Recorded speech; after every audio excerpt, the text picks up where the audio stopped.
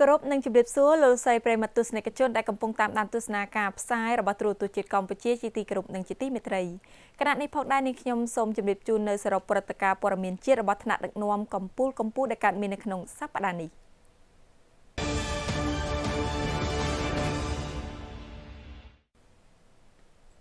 ស្សនិកជនជាទីគោរពជាដំបូងនេះដែរនេះខ្ញុំសូមជម្រាបជូននៅព្រះរាជសកម្មភាពព្រះករណាសម្ដេចព្រះបរមនាថនរោត្តមសីហមុនីព្រះមហាក្សត្រនៃព្រះរាជាណាចក្រកម្ពុជា ដែលទ្រង់យាងបំពេញព្រះរាជកិច្ចដ៏ខ្ពង់ខ្ពស់នៅក្នុងសប្តាហ៍នេះនៅក្នុងសប្តាហ៍នេះដែរឯកឧត្តមអាយគ្គរដ្ឋទូតប៉ូទុយហ្គាល់បានថ្លែងអំណរព្រះរាជគុណដ៏ជ្រាលជ្រៅ ថ្វាយព្រះករុណាជាអម្ចាស់ជីវិតលើត្បូងជាទីសក្ការៈដ៏ខ្ពង់ខ្ពស់បំផុតព្រះអង្គសពព្រះរាជហឫទ័យប្រោសព្រះរាជទាននៅកិត្តិយសដ៏ខ្ពង់ខ្ពស់ចំពោះឯកឧត្តមឯកអគ្គរដ្ឋទូតចូលក្រាបថ្វាយបង្គំគាល់ថ្វាយសារតាំងក្នុងឱកាសដ៏ថ្លៃថ្លានេះឯកឧត្តមឯកអគ្គរដ្ឋទូតប៉ូទុយហ្គាល់បានថ្វាយសេចក្តីគោរពនឹករលឹកនិងព្រះពរជ័យពីឯកឧត្តមប្រធានាធិបតីនៃប្រទេសប៉ូទុយហ្គាល់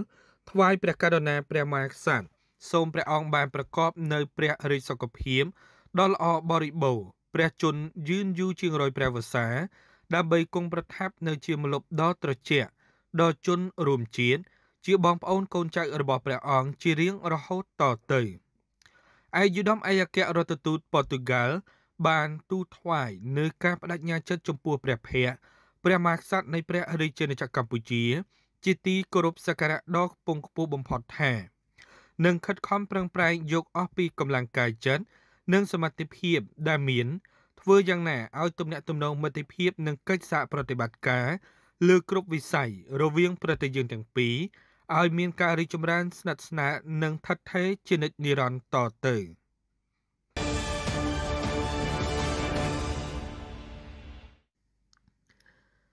ព្រះករុណាជាអម្ចាស់ជីវិតលើត្បូងព្រះបាទសម្ដេចព្រះបរមនាថព្រះមហាក្សត្រនៃព្រះរាជាណាចក្រកម្ពុជា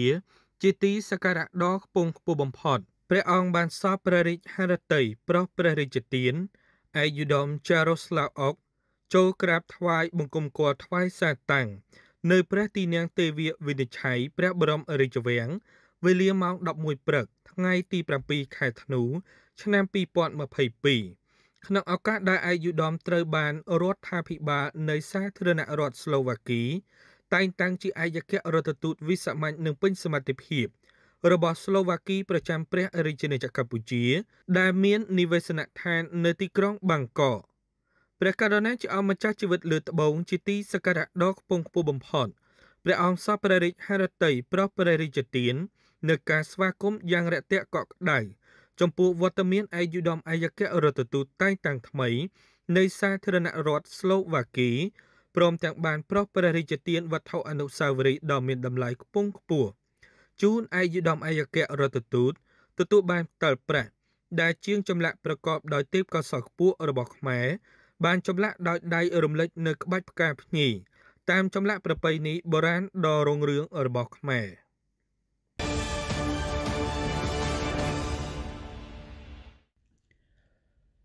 ព្រះករុណាជាអម្ចាស់ជីវិតលើត្បូងព្រះបាទសម្ដេចព្រះបរមនាថព្រះមហាក្សត្រនៃព្រះរាជាណាចក្រកម្ពុជា ជាទីសក្ការៈដ៏ខ្ពង់ខ្ពស់បំផុតព្រះអង្គបានសពព្រះរាជហឫទ័យប្រោសព្រះរាជទានឯកឧត្តមមីកាមីម៉ាសាហ៊ីរ៉ូឯកអគ្គរដ្ឋទូតវិសាមញ្ញនិងពេញសមត្ថភាពនៃប្រទេសជប៉ុនប្រចាំព្រះរាជាណាចក្រកម្ពុជា បានចូលក្រាបថ្វាយបង្គំគាល់នៅព្រះមហាប្រាសាទខេមរិនក្នុងព្រះបរមរាជវាំង វេលាម៉ោង10ព្រឹកថ្ងៃទី9ខែធ្នូឆ្នាំ2022ដើម្បីក្រាបថ្វាយបង្គំលាព្រះករុណាព្រះមហាក្សត្រក្នុងឱកាសដែលឯកឧត្តមឯកអគ្គរដ្ឋទូតនៃប្រទេសជប៉ុន បានបញ្ចប់អាណត្តិបេសកកម្មការទូតនៅព្រះរាជាណាចក្រកម្ពុជា ក្នុងអាណត្តិដែលមានរយៈពេល3ឆ្នាំកន្លងមកនេះ ឯកឧត្តមឯកអគ្គរដ្ឋទូតជប៉ុន បានថ្វាយកន្ត្រកផ្កាដ៏ស្រស់ល្អមួយកន្ត្រកធំ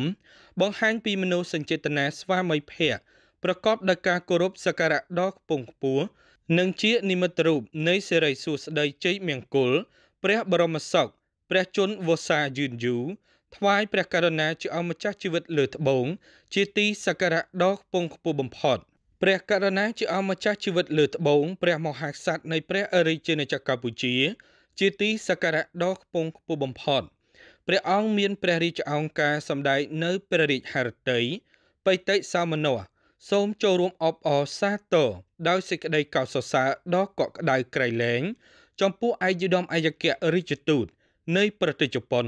ដែលបានខិតខំប្រឹងប្រែងយកអស់ពីកម្លាំងកាយចិត្តនិងបទពិសោធន៍ដ៏ខ្ពង់ខ្ពស់ធ្វើឲ្យការបំពេញបេសកកម្មការទូតដ៏វិសេសវិសាលរបស់ឯកឧត្តម នៅព្រះរាជាណាចក្រកម្ពុជាទទួលបានលទ្ធផលយ៉ាងល្អប្រសើរនិងកិត្តិយសបំផុត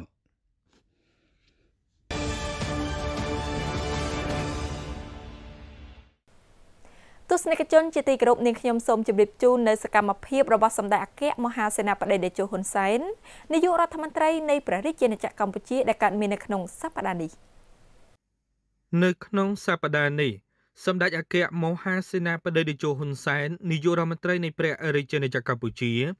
បានដឹកនាំគណៈប្រតិភូជាន់ខ្ពស់រាជរដ្ឋាភិបាលកម្ពុជា អញ្ជើញគោរពវិញ្ញាណក្ខន្ធឯកឧត្តមហ្សាងហ្សេមីងអតីតប្រធានាធិបតីនៃសាធារណរដ្ឋប្រជាមានិតចិន ដែលបានទទួលមរណភាព កាលពីថ្ងៃទី30ខែវិច្ឆិកា ឆ្នាំ2022ដោយជរាពៀននៅក្នុងពិធីគោរពវិញ្ញាណក្ខន្ធផ្លូវការនោះ សម្ដេចតេជោនាយករដ្ឋមន្ត្រី និងគណៈប្រតិភូជាន់ខ្ពស់រាជរដ្ឋាភិបាលកម្ពុជា បានធ្វើការលំអោនកាយវិចារចិត្តគោរពយ៉ាងជ្រាលជ្រៅបំផុតចំពោះមរណភាពរបស់ឯកឧត្តមអតីតប្រធានាធិបតីចិន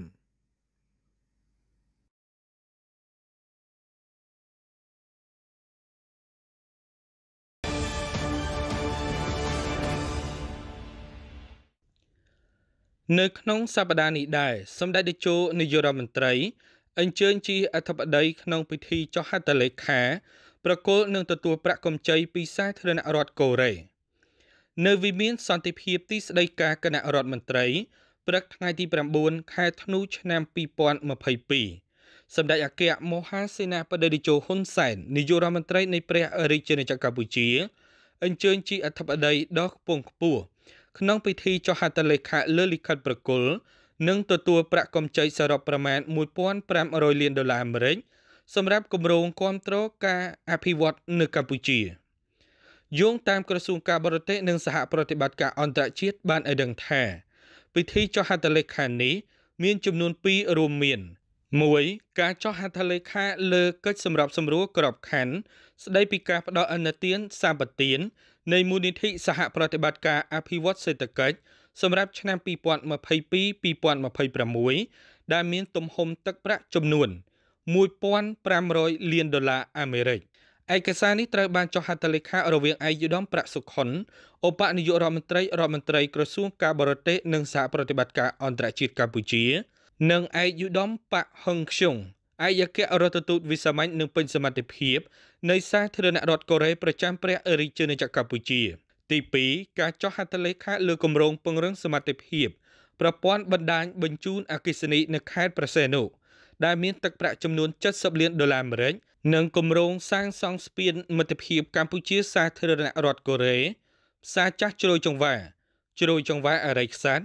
ដែលមានទឹកប្រាក់ចំនួន245លាន 909,000ដុល្លារអាមេរិក។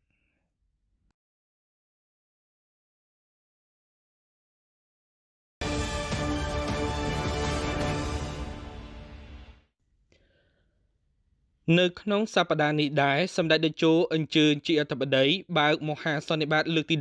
16របស់ក្លឹបឆ្នេរសមុទ្រស្អាតបំផុតលើសកលលោក នៅសន្តាគារសុខាខេត្តព្រះសីហនុព្រឹកថ្ងៃទី10ខែធ្នូឆ្នាំ2022សម្ដេចអគ្គមហាសេនាបតីតេជោហ៊ុនសែននាយករដ្ឋមន្ត្រីនៃព្រះរាជាណាចក្រកម្ពុជាអញ្ជើញជាអធិបតីភាពបើកមហាសន្និបាតលើកទី16របស់ក្លឹបឆ្នេរសមុទ្រដែលស្អាតបំផុតលើសកលលោកនៅមុនពិធីបើកមហាសន្និបាតសម្ដេចតេជោនាយករដ្ឋមន្ត្រីបានអនុញ្ញាតឲ្យប្រតិភូក្លឹបឆ្នេរសមុទ្រដែលស្អាតបំផុតលើសកលលោក ដឹកនាំដោយឯកឧត្តម Michel Bosul ប្រធានក្លឹបឆ្នេរសមុទ្រដែលស្អាតបំផុតលើសកលលោកចូលជួបសម្ដែងការគូសពនិងពិភាក្សាការងារឯកឧត្តម Michel Bosul មានប្រសាសន៍ថាឯកឧត្តមមានសេចក្តីរីករាយដែលបានទទួលដំណឹងថាសម្ដេចតេជោនឹងធ្វើដំណើរទៅកាន់សហភាពអឺរ៉ុបដើម្បីពិភាក្សាស្វែងរកសន្តិភាព ដែលបណ្ដាប្រទេសនៅអឺរ៉ុបត្រូវការសន្តិភាព ពិសេសនៅប្រទេសអ៊ុយក្រែន សម្ដេចតេជោមានប្រសាសន៍ថា COVID-19 ពិតជាមានផលវិបាកដល់យើងគ្រប់គ្រប់គ្នាពិតមែនប៉ុន្តែកម្ពុជាបានគ្រប់យ៉ាងល្អនិងជួយសង្គ្រោះអាយុជីវិតមនុស្សប្រមាណ4000នាក់មកពី70ប្រទេសដែលជាប់គ្មានកន្លែងចោះចតលើនាវាកំសាន្ត Westerdam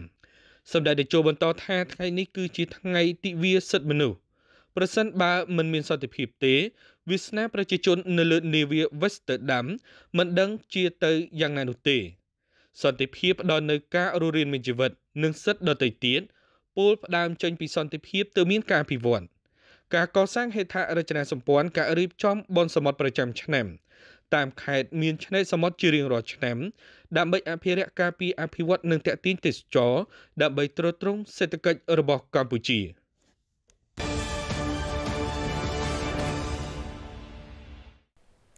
លោកលោកស្រីប្រិមត្តទស្សនិកជនជាទីគោរពសរុបព្រឹត្តិការណ៍ព័ត៌មានជារបស់ថ្នាក់ដឹកនាំកម្ពុជាកម្ពុជាដែលកាត់មាននៅក្នុងសប្តាហ៍នេះចាប់តែប៉ុណ្ណេះជាបន្តទៅទៀតនេះសូមគោរពអញ្ជើញទស្សនានៅសរុបព្រឹត្តិការណ៍ព័ត៌មានអន្តរជាតិគណៈនេះនឹងខ្ញុំរ៉ាត់វ៉ាន់លីឡាព្រមទាំងក្រុមការងារសូមអរគុណសូមគោរពលា